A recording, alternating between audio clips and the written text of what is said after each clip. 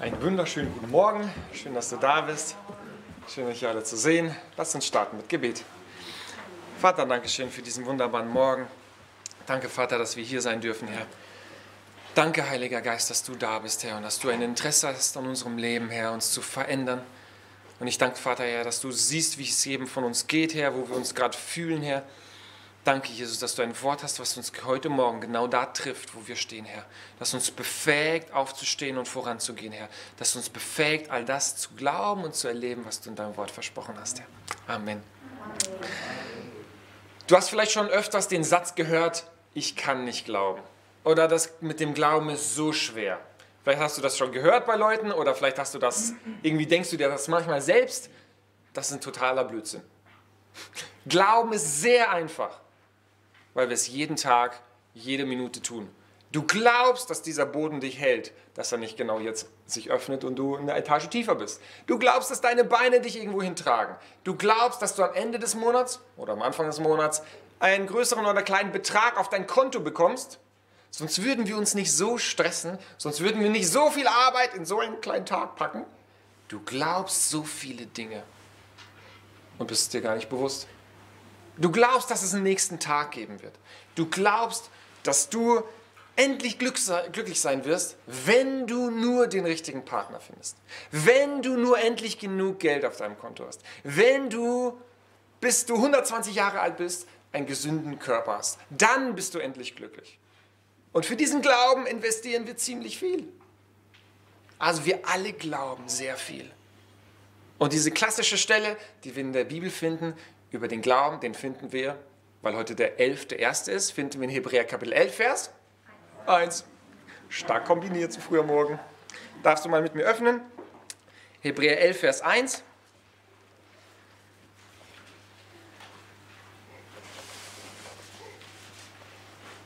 Da heißt es, es ist aber der Glaube eine feste Zuversicht auf das, was man hofft eine Überzeugung von Tatsachen, die man nicht sieht. Und den zweiten Teil, den will ich heute Morgen besonders fokussieren. Der Glaube ist eine Überzeugung von Tatsachen, von geistlichen Realitäten, von Tatsachen, die, und jetzt kommt das Problem, das Herausfordernde, die ich nicht immer sehe. Und das klassische Beispiel, was wir in der Bibel bei den Jüngern finden, der ein bisschen Schwierigkeiten mit dem Glauben hatte, ist der zweifelnde Thomas, der ungläubige Thomas. Und das darfst du jetzt mit, mal mit mir öffnen. Das finden wir in äh, Johannes Kapitel 20. Wir geben ja diesem Thomas oft so diesen Spitznamen, der ungläubige Thomas. Und ich glaube nicht ganz, dass das so gerechtfertigt und so passend ist. Weil wir sehen, dass die ganzen Jünger enorm mit Zweifel zu kämpfen hatten. Genau, wenn die Bibel so von Unglaube spricht oder von Zweifel, dann ist ja nicht damit gemeint, dass ich plötzlich nichts mehr glaube. Haben wir ja gerade gesehen, wir alle glauben tausende von Sachen, die teilweise schwieriger zu glauben sind als das, was die Bibel uns präsentiert, sondern meint einfach, dass ich aus der Perspektive der Bibel, des christlichen Glaubens, aus der Perspektive der Wahrheit nicht mehr die Wahrheit glaube, sondern die Lüge. Also ich entscheide mich, nicht mehr Wahrheit zu glauben, ich entscheide mich, die Lüge zu glauben, das Schlechte zu glauben. Und da finden wir in Kapitel 20, dass Jesus gerade auferstanden war und dass die Jünger irgendwie Schwierigkeiten hatten, das zu glauben. Und warum hatten sie denn so Schwierigkeiten, das zu glauben? Jesus hatte ihnen das doch erklärt. Lukas 24 sagt uns, dass Jesus ihnen sogar anhand dem Wort Gottes erklärt hatte, Jungs, passt mal auf, Mose sagt das, die Propheten sagen das, die Psalmen sagt das, sagen das, ich muss leiden. Und die Jünger irgendwie, hä, verstehen wir nicht. Dann passiert das und sie sind alle völlig zerstört. Warum sind sie so, so zerstört? Warum haben sie so Schwierigkeiten zu glauben?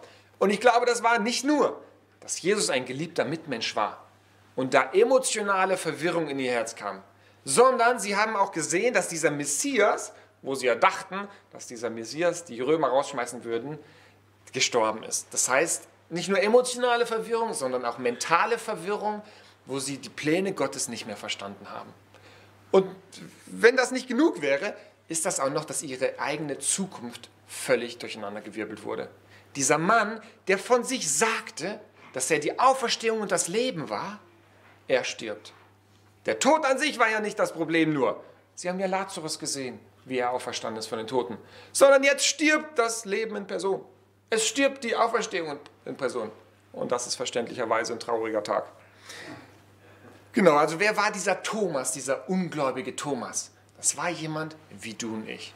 Manchmal wird er so gezeichnet, also der kritische Wissenschaftler, der sagt, hm, Jesus, ich glaube nur, was ich sehe. Das war nicht der Thomas in der Bibel. Wir sehen zum Beispiel in Johannes 11, es gibt so drei Stellen, wo Thomas selbst zu Wort kommen darf. In Johannes 11, da sehen wir, wie er den Freund von Jesus sagt und sie motiviert, hey, lasst uns unser Leben hingeben für diesen Jesus. Lasst uns sterben mit diesem Jesus. Das war ein Mann, der ein Herz voller Liebe für Jesus hatte, dessen Herz gebrannt hat für das Reich Gottes. Aber wir sehen drei Kapitel später, dass obwohl er diese Liebe hatte, trotzdem noch sehr viel Unverständnis in seinem Herzen war. Und hier Jesus Fragen stellt am Tisch vom letzten Abendmahl, ähm, ja, die zeigen, dass er die Wege Gottes, dieses Leben mit Jesus noch nicht wirklich so verstanden hatte. Und wir sehen jetzt in Kapitel 20, da will ich mal lesen, Vers 19 und ein paar folgende, dass Jesus sich den Jüngern zeigte. Und da heißt es, als es nun an jenem Tag, dem ersten der Woche, Abend geworden war und die Türen verschlossen waren an dem Ort, wo sich die Jünger versammelt hatten, aus Furcht vor den Juden. Die Jünger hatten Angst, was die Juden ihnen antun würden und ob sie eventuell tatsächlich ihr Leben geben müssen, auch mit für diesen Jesus. Da kam Jesus und trat in ihre Mitte hinein und sprach zu ihnen, Friede sei mit euch. Also jetzt zeigt sich Jesus. Jesus sieht diese Jünger, wie sie sich einschließen vor Furcht, weil sie Angst haben, was passieren würde. Obwohl da diese Maria war am Grab, die Jesus schon gesehen hatte, die sie Engel schon gesehen hatte, obwohl bald die Emmaus-Jünger kommen würden, angerannt kommen würden, die sagen, sie haben Jesus gesehen. Trotzdem sperren sie sich ein. Trotzdem sind sie voller Furcht. Und wir lesen dann weiter in äh, Vers, ähm, jetzt muss ich ja suchen, wo der Thomas sorry, wo steht das? Der Thomas, dann Vers 24 heißt es dann, Thomas aber, einer von den Zwölfen, der Zwilling genannt wird, war nicht bei ihnen. Das war so ein bisschen ein unglücklicher Tag für ihn. Erst stirbt Jesus und dann trennt er sich noch von seinen Freunden. Wenn ich mit Unglaube zu kämpfen habe, dann ist das, wenn ich die totale Zerstörung in meinem Leben will, die beste Idee, mich auch von der Gemeinde zu trennen. Hervorragende Idee, um meine Krise noch größer zu machen keine gute Idee, sich zu trennen. Wenn ich im Glauben Herausforderungen habe, wenn ich Schwierigkeiten habe, dann bitte verlasse die Gemeinschaft nicht. Das ist der beste Weg, um ziemlich schnell äh, die Krise noch größer zu machen. Und wir lesen dann weiter, Vers 25, da sagten ihm die anderen Jünger, wir haben den Herrn gesehen. Er aber sprach zu ihnen, wenn ich nicht an seinen Händen das Nägelmal sehe und meinen Finger in das Nägelmal lege und meine Hände in seine Seite lege, so werde ich es niemals glauben. Jesus sieht diesen Mann, der ihn eigentlich liebt, aber so Schwierigkeiten hat, das alles in seinem Kopf klar zu kriegen. Und für diesen Mann kommt er jetzt nochmal. Das lesen wir dann in Vers 27. Er kommt wieder nach acht Tagen und dann spricht Jesus zu Thomas, reiche deinen Finger her und sieh meine, sieh meine Hände. Reiche deine Hand her und lege sie in meine Seite, in die Wunden und sei nicht ungläubig, sondern gläubig. Und Thomas antwortete und sprach zu ihm, mein Herr und mein Gott. Jesus spricht zu ihm, Thomas, du glaubst, weil du mich gesehen hast. Glücklich sind, die nicht sehen und doch glauben. Wo wir uns zu fragen, ja, warte mal, Jesus sagt, es ist gut für mich, wenn ich noch nichts sehe und dennoch glaube. Wir sagen, es ist doch schrecklich. Warum ist es gut, dass ich über Jahre für ein Familienmitglied bete, aber es passiert noch nichts? Warum ist es gut, wenn ich Herausforderungen in meiner Ehe habe, aber die Lösung kommt noch nicht? Warum ist es gut, dass ich tagtäglich auf meiner Arbeit ungerecht behandelt werde, aber Gott bringt noch nicht keine Veränderung? Jesus sagt, das ist gut. Warum ist denn das gut? Warum ist das gut, wenn ich wie Abraham jahrelang auf Kinder warten muss? Wenn ich für meinen Ehepartner so lange beten muss? Das war meine Herausforderung, als ich hier ins Frühgebet kam ähm, Gott kennenzulernen, aber dann ziemlich schnell auch die Frage, wie kann ich eigentlich meine Frau finden? Und dann war da eine Person, äh, für die ich ziemlich viel gebetet habe und wo ich oft die Frage gestellt habe, Gott, warum machst du das nicht einfach? Warum machst du das nicht einfach so? Warum muss ich warten und warten und beten und beten und fasten und Kampagne und Kampagne und Kampagne? Warum machst du das nicht einfach so? Jesus sagt, das ist gut so. Warum ist das gut so? Ich glaube aus zwei Gründen. Es ist gut so, weil ich dann trainiere. Vielleicht hast du einen Vorsatz fürs neue Jahr, ich will schlanker werden. Ich will fitter werden. Und dann startest du, okay, heute ist der letzte Tag, wo ich mit meiner Chipstüte vor meinem YouTube-Tutorial sitze und jemanden angucke, wie er schön den perfekten Körper hat, den ich auch will. Ja, wenn ich da sitzen bleibe, dann ist die Wahrscheinlichkeit gering, dass ich meinen Vorsatz tatsächlich äh, umsetzen kann. Ich weiß nicht, wie es dir geht jetzt nach elf Tagen, deine Vorsätze, ob du da eine gute Richtung steuerst oder noch ein bisschen korrigieren musst. Ähm, wenn ich meine Muskeln nicht trainiere, dann darf ich nicht, mich nicht beschweren, dass ich im September da sitze mit einem dicken Bauch. Außer ich bin schwanger. Also wenn ich nichts tue, ja, dann werde ich auch nichts sehen. Und so ist das in meinem geistlichen Leib, gibt es diesen entscheidenden Muskel namens Glaube. Wenn ich nicht trainiere, darf ich mich bei niemandem beschweren. Nicht bei meinem Pastor, nicht bei meinem Familienkreisältesten, nicht bei Gott, nicht beim Feind, weil er mein Leben so schwierig macht, weil die Corona-Krise gerade so schwierig ist. Wenn ich nicht trainiere, bin ich schuld. Und das ist wunderbar, weil ich kann das verändern. Ja, wenn ich auf deine Hilfe warte, dann kann ich das nicht verändern. Wenn ich auf mich warten muss, dann kann ich das verändern. Und das ist wunderbar, dass die Bibel uns immer Anteil gibt an dem, wie unser Leben läuft. Und wie wunderbar ist es, wenn ich tatsächlich aktiv werde im Glauben wenn ich diesen Muskel trainiere. Und wo trainiere ich den? Am besten im Gebet. Das Gebet sollte mein Fitnessstudio sein. Nicht nur meine ganzen Anliegen Gott zu bringen, sondern meinen Glauben zu trainieren. Römer 10, 17 sagt uns, woher kommt der Glaube? Wo wächst er? In der Predigt. Und ich habe eine erschreckende Nachricht für dich. Das Frühgebet wird dir nicht die beste Predigt bringen. In den letzten 18 Jahren wurden wunderbare Predigten hier gebracht. Aber die beste Predigt findest du nicht hier. Die beste Predigt findest du nicht bei YouTube, sondern der Prediger wohnt bei dir zu Hause und kommt am besten zum Einsatz, wenn die Tür geschlossen ist und keiner dich beobachtet. Wenn du dich selber lehrst.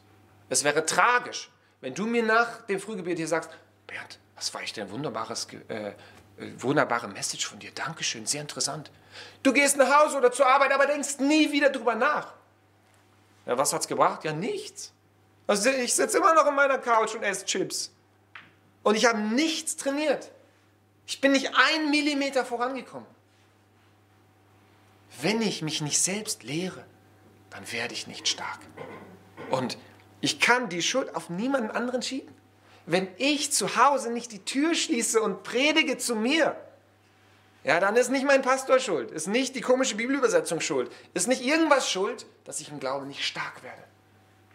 Sondern dann wartet der Heilige Geist auf mich, dass ich aufstehe und dass ich zu mir selbst predige. Dass ich wie in den Psalmen nicht nur zu Gott bete, sondern dass ich mich selbst lehre.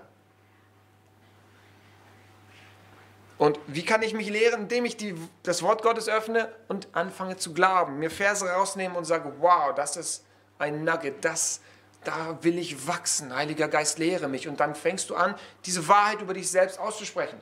Und dann findest du, stolperst du über so Stellen, die dir mal vielleicht gewöhnlich vorkommen, aber eigentlich in den Ohren der Juden die größte Gotteslästerung wären. Das findest du zum Beispiel in Vers 23, wo Jesus den Jüngern sagt, Vers 22, und nachdem er das gesagt hatte, hauchte er sie an, sprach zu ihnen, empfangt Heiligen Geist, welchen ihr die Sünden vergebt, denen sind sie vergeben. Welchen ihr sie behaltet, denen sind sie behalten. Klingt ja so? Ich kann jetzt zu dir kommen und sagen, deine Sünden sind dir vergeben. Ich dachte, Gott vergibt die Sünden. Wie passt denn das jetzt zusammen? Jesus ist schon mutig, dass er sagt, ich kann Sünden vergeben. Und jetzt sagt Jesus, du kannst Sünden vergeben. Da denkst du, warte mal, wie kann das sein? Und dann fängst du an zu predigen.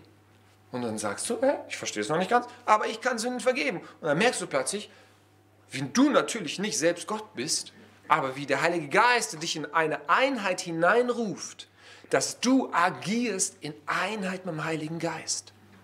Wo es natürlich heißt, dass ich nichts ohne den Vater, ohne Jesus tun kann. Und gleichzeitig werde ich aufgefordert, das zu tun, was er tut. Wo ich in eine Einheit hineingerufen werde, mit Jesus zu agieren. über die ich ein bisschen nachdenken sollte. Wo ich mich nicht hilflos fühlen sollte, Gott, ich kann das ja gar nicht, weil ich so schwach und unwürdig bin, sondern ich merke, nein, ich kann es nicht. Und das ist gut, dass du glauben. Aber ich bin hineinversetzt in einen Status in, zur Einheit mit Gott. Und das kann ich lernen im Gebet. Dass ich für etwas bete, aber gleichzeitig realisiere, dass Gott es liebt, nichts zu tun, bevor ich nicht meinen Teil auch dazugebe. Jesus wünscht sich, dass sein Wirken mit meinem Wirken so sehr verschmilzt, dass es vielleicht gar nicht mehr erkennbar ist, wer es getan hat. Das heißt immer wieder, äh, dass die Apostel geheilt haben. Haben die Apostel geheilt? Nein, Gott hat doch geheilt. Aber es steht, dass die Apostel geheilt haben. Manchmal wird in der Bibel dieser Aspekt von dem, was wir tun, betont und manchmal das, was Gott tut. In Realität ist das immer beides. Das heißt, ich bete für jemanden, aber ich lasse es nicht aus zu begreifen, dass ich Teil der Lösung bin. In den allermeisten Fällen. Ich kann natürlich nicht, wenn ich für Afrika bete, muss nicht jedes Mal hinreisen. Aber wenn ich für meine Gemeinde bete, dann sollte ich mir bewusst sein, hey, ich bin Teil der Lösung. Das heißt, ich bete für jemanden, ich bete für etwas in der Gemeinde und ich bin bewusst, hey, ich schreibe dieser Person auch während der Woche. Ich treffe sie vielleicht sogar und ich begegne ihr am Sonntag und bin vorbereitet. Ich bete nicht einfach und zehn Jahre danach, oh Gott hat eigentlich gar nicht so viel in meiner Gemeinde gemacht. Ja, weil, ich, weil Gott die ganze Zeit gewartet hat, wann ich denn tatsächlich aufstehe und Teil der Lösung werde. Und das begreife ich im Gebet, diese Einheit mit Jesus, dass Entmutigung und Anklage so fremd für ein Kind Gottes sein sollten, das begriffen hat, dass es in Einheit mit dem allmächtigen Gott lebt. Eine zweite Sache, warum das so kostbar ist, dass wir nicht sehen, ist, weil es Gott ehrt. Haben die Engel, die vor Gottes Thron stehen, Probleme, Gott anzubeten? weil sie sich gerade müde fühlen, weil sie denken, ja, Gott verstehe ich nicht und seine Heiligkeit, keine Ahnung, was das ist. Nein! Sie stehen und sind verzückt von der Gegenwart Gottes, weil sie Gott Angesicht zu Angesicht sehen. Das heißt, ist es eine große Leistung für Engel, Gott anzubeten, wenn sie seine Gegenwart sehen? Mittelmäßig. Weißt du, wie stolz Gott auf dich ist? Wenn du, obwohl du nichts fühlst, obwohl du nichts siehst, dich jeden Tag entscheidest, ich diene diesem Gott, ich vertraue diesem Gott. Und ich vertraue diesem Wort, was er gesprochen hat. Weißt du, wie Gott sich geehrt fühlt, wenn du glaubst, ohne zu sehen, wenn du vertraust, ohne zu fühlen, wenn du dich selbst lehrst, weil du weißt, ich will stark werden? Weißt du, wie Gott sich geehrt fühlt, wie es sein Herz berührt, wenn du glaubst, ohne zu sehen, wenn du glaubst, ohne zu fühlen, wenn du glaubst, ohne zu spüren. Das sollte unser Herz berühren. Wenn der Gott, wenn der Vater uns sieht, wie wir noch nichts sehen, wie wir nichts Tolles fühlen, aber wir entscheiden uns. Wir trainieren diesen Muskel und sagen, ich glaube dass das Wort Gottes immer noch treu ist. Ich glaube, dass du Gott, meinen Arbeitskollegen retten willst. Ich glaube, dass du meine Familie verändern willst. Ich glaube, dass du unsere Gemeinde erneuern willst. Ich glaube. Ich sehe noch nichts. Und ich zähle nicht die Tage, wie lange ich schon warte, sondern ich begreife, ich ehre Gott und ich trainiere meine Muskeln, um stark zu werden. Ich habe gestern das Zeugnis gehört von einem Mann, der heißt ähm, Olaf Lose. Es war ein Typ, der hat seine ganze Kindheit in Jugend und Drogen äh, verbracht. Kam dann irgendwann zur Erkenntnis, hey, wenn ich so weiterlebe, ich zerstöre doch mein Leben. Und er hat Gefühl, dass Gott ihn ruft. Er hat die Schritte gemacht, Gott gesucht, wurde Co-Pastor in der Gemeinde, ähm, hat, wie er sagt, fast jedes Wunder, das im Neuen Testament beschrieben ist, erlebt und gesehen. Hat dann aber gemerkt, dass er so viel von seinem Herz in den Dienst investiert, dass er nicht mehr fähig war, für seine Familie da zu sein diese Beziehung, diese Ehe, diese Familie gestorben ist und in die Brüche gegangen ist. Er selbst wieder an Alkohol gegangen ist, wo er gemerkt hat, das, dass ich Übernatürliches sehe, ist nicht das Fundament, auf dem mein Glaube steht. Dass ich sehen darf immer wieder, ist super und sollte mich zur Dankbarkeit führen, aber ist niemals ein Fundament für mein Glaube. Das heißt, wenn ich denke, ich kann nicht glauben, weil ich noch nicht gesehen habe, dann sagt Jesus, ihr Glaube falsch. Dein Glaube hat nichts zu tun mit Sehen. sondern glücklich ist der, von Gott bevorzugt ist der, der glaubt, aber nicht sieht. Und ich will uns ermutigen, dass wir dieses Jahr starten und diesen Fokus haben, auf diesen Muskel im Glauben zu wachsen. Und nicht zu warten auf den Tag, wo ich sehe oder fühle, sondern Wahrheit in Anspruch zu nehmen. Und das besonders im Gebet. Vater, ich danke dir, Herr, dass du uns sehr klare Anleitungen gibst über dein Wort, über ja, wie wir leben können, wie wir wachsen können. Und ich bete, Vater, dass wir uns nicht mehr abhängig machen von Umständen, von Mitmenschen, von Gefühlen oder unserer eigenen Logik, sondern dass wir dein Wort nehmen und selbst der beste Prediger auf dieser Erde werden, der fähig ist, uns selbst zu belehren. Dass wir nicht warten auf Prediger A oder Prediger B, sondern dass wir aktiv in unserem Kämmerlein dein Wort in Anspruch nehmen. Und danke, Heiliger Geist, dass du tatsächlich alle Zeit mit uns in Einheit leben und arbeiten willst. Amen. Amen.